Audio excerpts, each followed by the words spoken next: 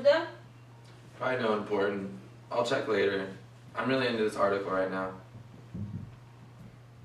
I can look for you. You applied to a few places next week. I want to make sure you don't miss anything. It's really okay, dear. I just want to have a relaxing afternoon here with you.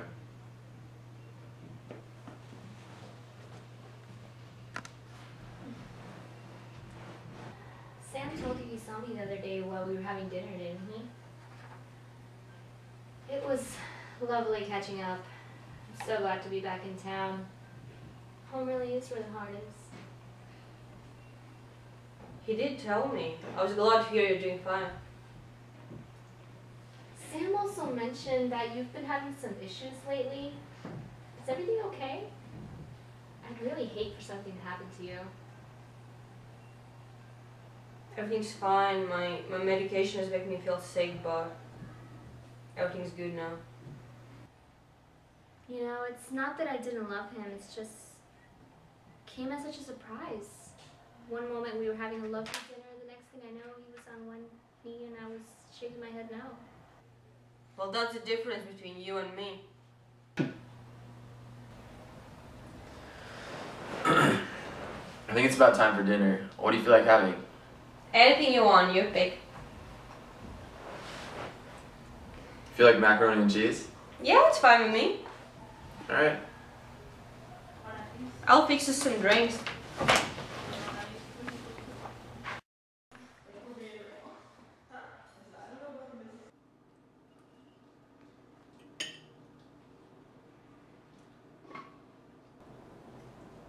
What's wrong? You should eat your dinner. It's nothing, you just slight headache. Has he told you you texted him earlier? No, it's probably not that important. It was me.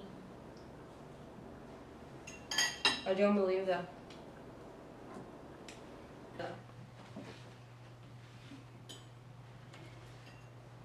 I've now come to realize the mistake I made. I should have never said no when he proposed to me. Well, it's a little too late for it now.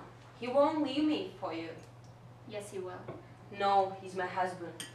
He won't be for much longer. He was planning a getaway weekend for us. He just needed to figure out the way to tell you.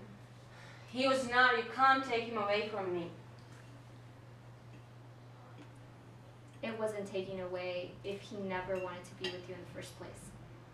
He will never leave me, no matter what you say. Are you willing to take that chance? When the opportunity presents itself and he has to choose, do you really think he'll choose you? I know he will. If you truly believe that, we wouldn't be having this conversation. I missed him so much while I was away. I can't wait for all the times him and I will soon be spending. There will not be any of those times. You need to leave.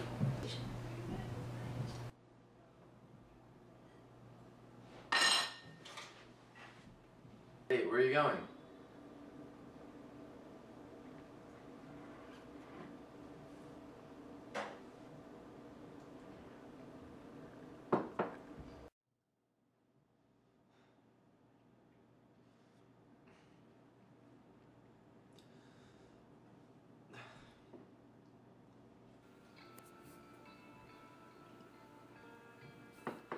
I still regret with every part of me the decision I made when he knelt before me that day. What folly. It is love. But how sudden was my denial? My fear? He loved that cup. We got it at Disneyland a few months ago. It was the only thing I left behind. Anyway, they did not have love for each other. She, I don't know what she had. I know what I had. Loathing that boiled deep down inside of me with the thought of their marriage, their union. What a shame. He was a lovely, beautiful person But he was not mine. Not mine to love or mine to keep. And for that,